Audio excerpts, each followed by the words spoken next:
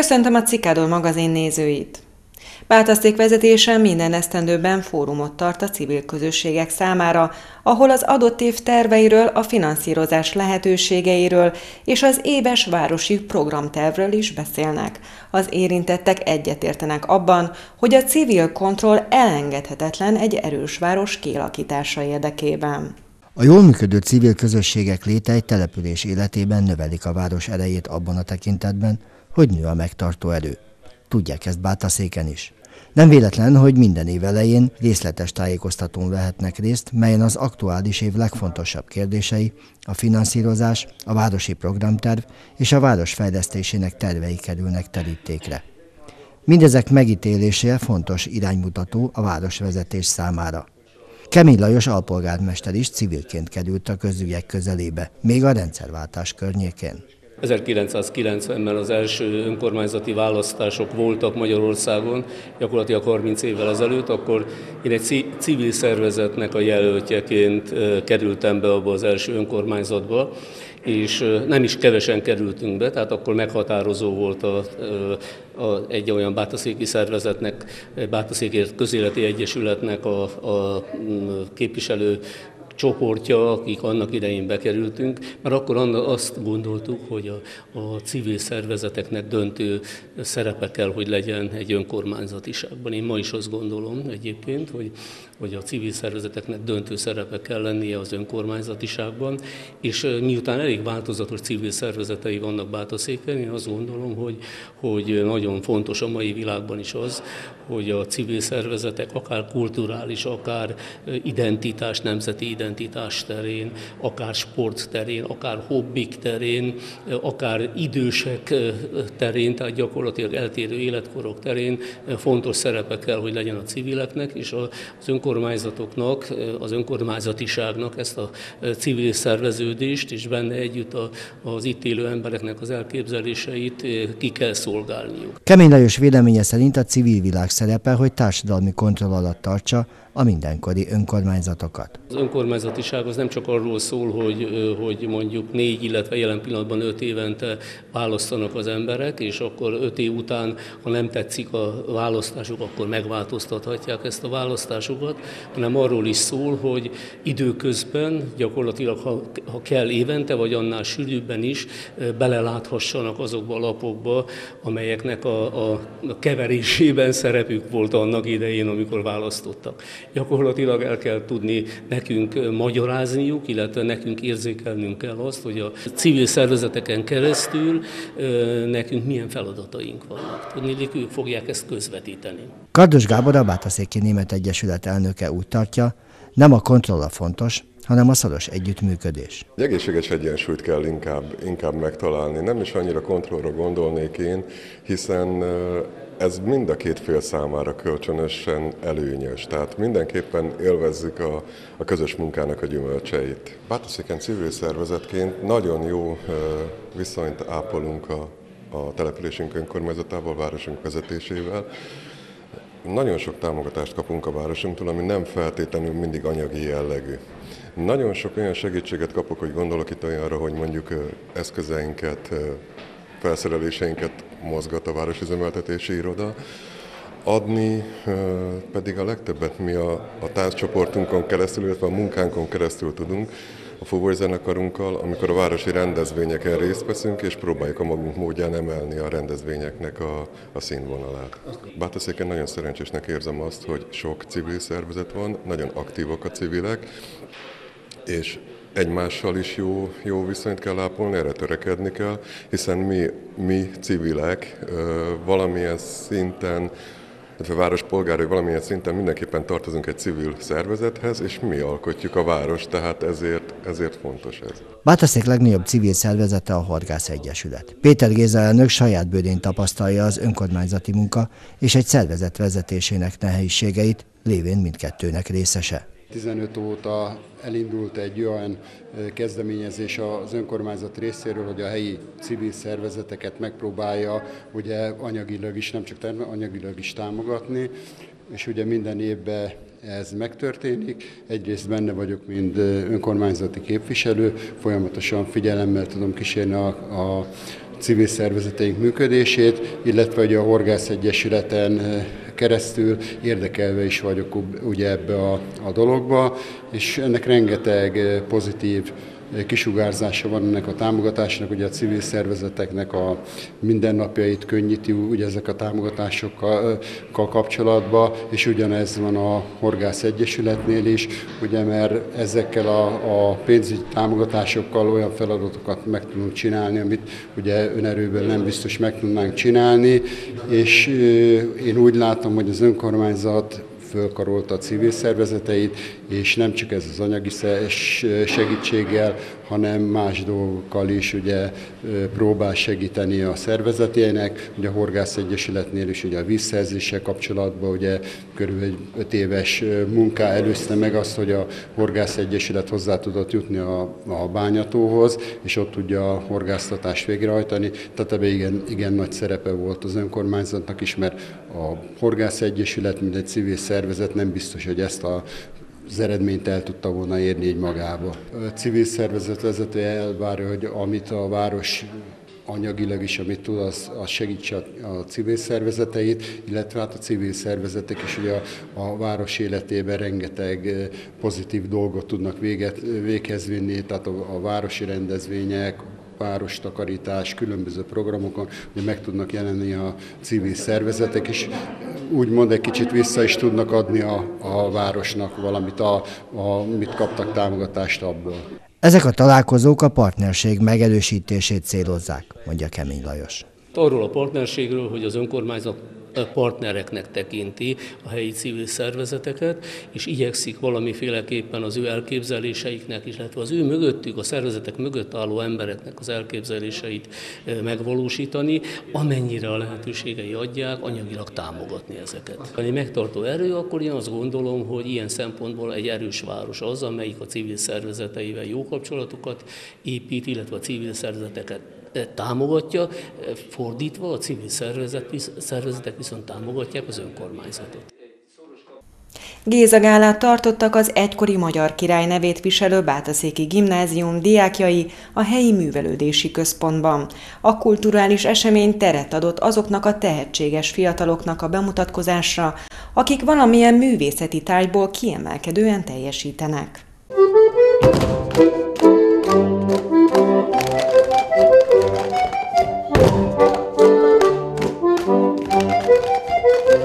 A humor és nevetés sem maradt el az idei Géza gálán. Több éves hagyomány, hogy a második Géza gimnázium diákjai és tanárai megszervezik az eseményt. Egyrészt jótékony célt is szolgál a rendezvény, mert ugyan a belépés ingyenes, de adományokat elfogadnak a gimnáziumért alapítvány javára, másrészt a szórakozás kap teret. Több egyéni és csoportos műsorszámban is megmutatták a tehetséges fiatalok, hogy milyen sok művészeti tárgyból teljesítenek kiemelkedően. Volt olyan tanuló, aki négyszer öltözött át és lépett színpadra. Apő Zsóka elsőként a Vacsemplátter címet viselő táncot adta elő a Helymat tánccsoport tagjaként. Ahogy mondta, minden tánclépésnek jelentése van. Ezt akarták megmutatni a nézőknek.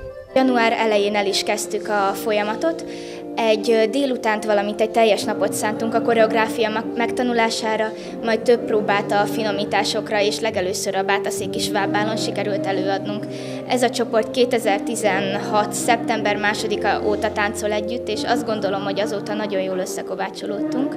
Következő nyáron csatlakoztak hozzánk az utánpótlás tagjai, és így váltunk mi ifjúsági csoportá, azóta együtt és külön is táncolunk. Ezt a nagyobbaktól láttuk, tehát a felnőtt csoporttól láttuk, láttuk, hogy ezt adták elő, valamint még a régebbi időkből láttunk egy-két felvételt, és elhatároztuk, hogy ezt mi is meg szeretnénk tanulni. Bőrnadrágokban táncoltuk el, és ennek a lényege az, hogy erősen oda kell ütni, tehát hogy hallatszódjon kell annak az ütésnek, valamint ez az a tánc, amit nem lehet fapofával előadni, tehát teljes átéléssel kell. Valamint hát ugye ütögettük egymást, csapkodtuk egymást, és lényegében ez volt a lényeg, hogy a táncból most végre láthatták, hogy mit is jelent, mert minden tánclépésnek jelentése van. Ez egy vegyes csoport, tehát hogy életkor alapján oszlik el, hogy ki melyik csoportba kerül. Természetesen nem csak az életkor dominál, hanem a tudás is. Az ügyesebb táncosok már felléphetnek a nagyobbakkal, tehát velünk, és a kicsit még gyengébbek, vagy akik éppen most kerültek be, ők pedig még az utánpótlás tagjai lehetnek. Igazából a szavalás és a táncolás mellett fontos szerepet tölt be az életemben a tanulás, tehát most terveim szerint nyáron nyelvvizsgázom német nyelvből, utána pedig ráfekszem az angol nyelvre is, tehát a művészet is egyaránt érdekel, és a tanulás is. Hagyományos népviseletben sárközi népdalcsokrot adott elő Holc Hanga és Rajnai Réka, tizedik osztályos tanulók. Aranyalmás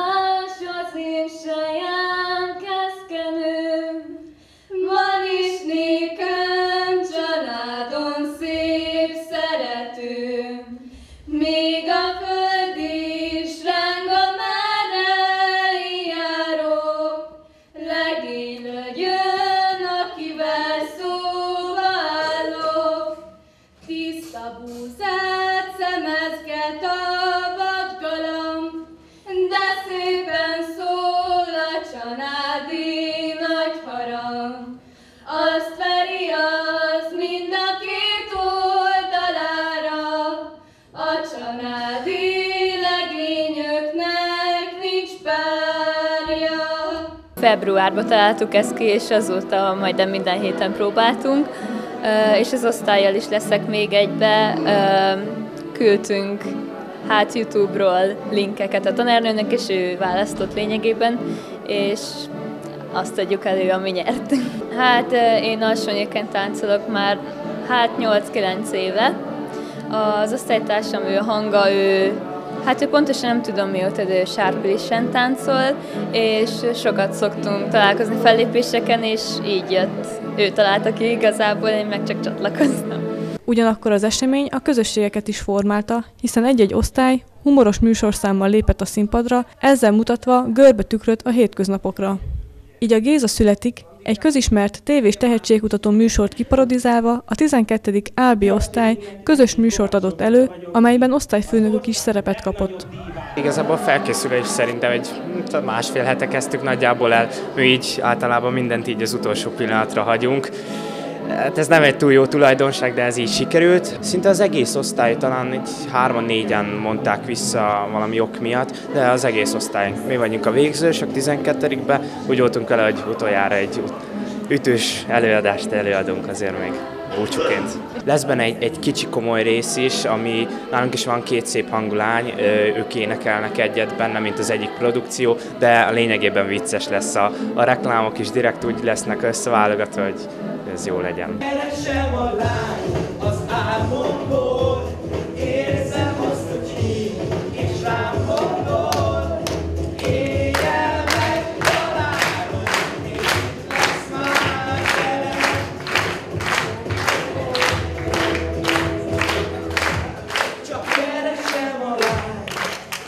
A már több mint három évtizedes Géza Gála jó alkalom a tehetséges fiataloknak a bemutatkozásra, akik valamilyen művészeti tárgyból kiemelkedően teljesítenek.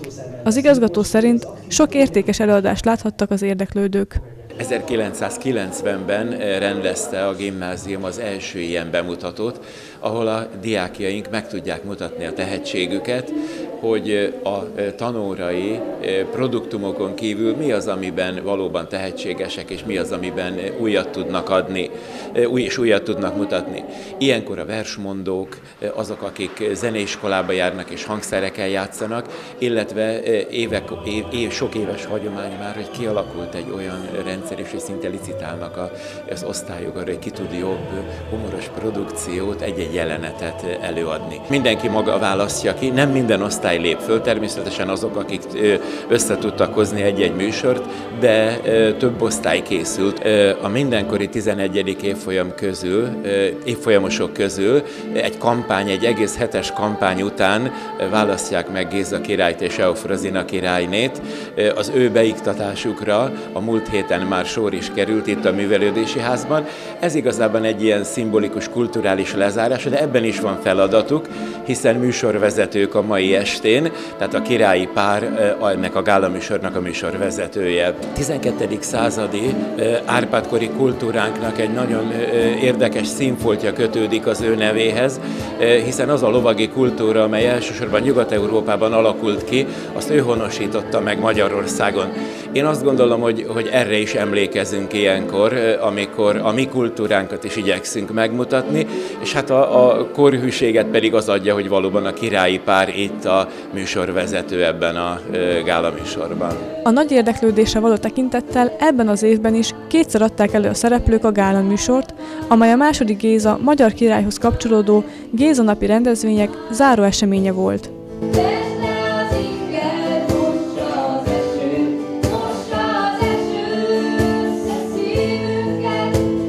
Megelevenedett ezúttal nem filmvásznon, hanem élőben a régi idők focia. A Dunántúl országosan is közkedvelt hatvankodó jó néhányan már hetvenkedő focistái húztak szerelést a Bátaszéki Kakaskupán, amit a lila szerelésben játszó Szexárd név alatt futó Tolna megyei válogatott nyert meg. Ezen az öregfiúk tornán valóban öregfiúk játszottak. Manapság bizony ritka az ilyen címszó alatt futó tornákon, hogy zömében 60-asok és jó már 70 focizon. Bártaszéken a kakaskupán mindössze annyi az engedmény, hogy egy-egy meghívott öregfiúk csapatban kettőnél nem több 58 éves játékos szerepelhet. A szervezők követik és betartják az MLS országos veterán bajnokság szabályait. A hat csapat egyike az említett bajnokságban szereplő Tolna megyei mix volt, amely lila szerelésben Szexár néven indult. Nekem vannak Bonyhádról a Fejfer Zoli, a Busatilla, Juhász Józsi, Paksról a Porga Pisti, Máté Laci, Szexárdról a Varga felé, Siagárdról vagyunk az Ódor Laci, jó magam, úgyhogy így össze, Góma Józsi, Szexárdi még. Dél-Dunántúl egyik legaktívabb ebben a korosztályban. Baranyából két csapat is érkezett, az egyik még az NB1-et megjárt Komlói, a másik pedig Bolyból jött. Stíl József Komló játszott az élvonalban, de évtizedeken át Pécs első számú csapatának egyik meghatározó vezetője volt. Legnagyobb élményét megosztotta velünk is. Újpest megnyerte a bajnokságot, a kupába a Komlói Bányász lett a második, és ebből az alkalomból a Komlói Bányász, és épp ezért a kupagyőztesek Európa kupájába szerepelhetett, a Cereven az Zvezdát kaptuk, akkor még nem voltak ilyen irányított sorsolások, azt a nagy hírű Cereven az Zvezdát, ami a mai címszó alatt nyugodtan mondhatnám, mint a Real Madrid, olyan fatalmas nagy csapat volt annak idején, a jugoszláv nemzetnek a büszkesége volt a Cerena Zvezda, és a komlói bányásszal sorsolták össze. Komlón kikaptunk 7-2-re, és Belgrádban megvertük az Zvezdát 2-1-re. És ennek köszönhetjük azt, hogy meghívtak bennünket, a Fiorentina ellen játszottunk barátságos mérkőzést Firenzében, majd Dél-Amerikába három hétig turnézott a Komlói Bányász, ami nem volt jellemző arra, hogy vidéki klubok egyáltalán eljuthattak a határon kívülre. Ilyen sztorival, anekdotákkal a Dunai városiak, a szexárdiak, a bátorszékiek, a paksiak, de legfőképpen a békés csabaiak szolgálhattak. Hazai fővárosi nagycsapatok elleni élményeiknek se szeri, se száma nem lehet. A szexádi nagycsapatból nem állhat már fel öreg fiúk tornán a híres Zilbauer Kalász Freppán török négyes, magas életkoruk és egészségi állapotuk miatt. A legendás jobbszélső, a Békés Csabáról annak idején ide került Zilbauer Miksa még mindig aktív, öreg fiúkként már Békés Csabai színekben, de a Szexádi Dózsa MB1-B-s csapata volt pályafutásának csúcsa. Sajnálom, hogy a többiek már nem tudnak pályára lépni, de hát az volt az igazi, az volt a legendás csapatunk hiába. Azok, hát azokat szoktuk meg, hát most már sajnos már ők 80 fele járnak. A csabaiak korátlaga 65 év volt. Magasan a legidősebb korosztályú csapat vagyunk, de mi így szoktuk meg, szeretünk így futballozni. Mit tettél azért, hogy még ma is így nézzél ki? Szerintem még nagy pályán is tudnál játszani. Hát játszom is időközönként. Hát csak annyit, hogy sportszerűen élek. Genetika sportszerű élet. Így van, így van, így van. És hát szerencsém van, mert olyan az adottságaim, hogy hát még bírom. Békés Csabai csapatomból is egyedülálló vagyok abból a korosztályból, aki még játszott velem. Még bírja és bírni is fogja a 80-as évek szexárgyának egyik nagy kedvence, a középhátvéd belső védő, a megbízhatóság szobrának is nevezhető, rosszul játszani szinte nem is tudó Varga Ferenc, aki már 60-70 között jár, ami a játékán egyáltalán nem látszik. Megalapoztam a, a, a fizikumomat, mert nagyon sokat edzettem, mert fiatal koromban. Olyan edzőim voltak, akik mint például Losonci István vagy Fertőszegyi Béla, akiknél nagyon sokat kellett edzeni, és ez meghozta a jövőjét. A Szexádi Dózsánál is voltak, akik tulajdonképpen hozzátettek így? Így hogy... van, a Szexádi Dózsánál is még annak idején Jerabekjenő, mondhatnám Tesler Vendel, Magas, Magas házi Józsa, így van, ők, ők is nagyon sokat köszönhetek nekik. Nagyon jó érzés, hogy a régi játszótársakkal újra találkozhatunk, és hát mi már gondolat, egymás gondolatait ismerjük, úgyhogy nagyon jó érzés együtt játszani. Nincs pocak, megvan az erőlét, a gömbérzék, a technika, és a lelkesedés nem veszett el az idők múlásával sem. Nézzék csak a végső győztes Tolna megyei Lilák egyik győzelemhez vezető akcióját még a csoportmeccseken. A vacsoráról elnevezett tornát, a kakaskupát Bátaszéken a futballtavasz nyitányaként a nosztalgia jegyében még jó néhány évig szeretnék megrendezni. A Bátaszéki karate szakosztály immár az évben másodszor lépett küzdőtérre a Tatami Kupán nemzetközi versenyen. Bár a megbetegedések és a sérülések miatt több versenyzőkről le kellett mondani a nagyákos vezetőedzőnek, a 11 ország több mint 50 egyesületének versenyében a BSE versenyzői három arany, négy ezüst, négy bronzérmet és három ötödik helyezésre tettek szert, ami az összesített éremtábla 9. helyére, a hazai egyesületi sorrendben negyedik helyre volt elegendő. 12. alkalommal került megrendezésre a Kanizsai Dorottya úszóverseny, mely a Bátaszéki Sportegyesület és az általános iskola közös rendezvénye, aminek az egy évtizedes Bátaszéki tanúszoda adott otthont.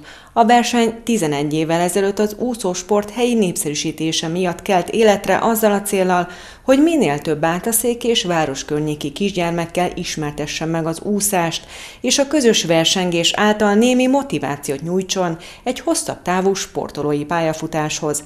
A versenyre ezúttal 8 iskola 80 sportolójának közel 140-150 nevezése érkezett, legnagyobb számban bonyhádi és helyi versenyzőkkel, többen köztük olyanokkal, akik a március 14-i, 15-i Budapesten megrendezésre kerülő országos diákolimpián az országos címekért is küzdeni fognak. Köszönöm figyelmüket, viszontlátásra!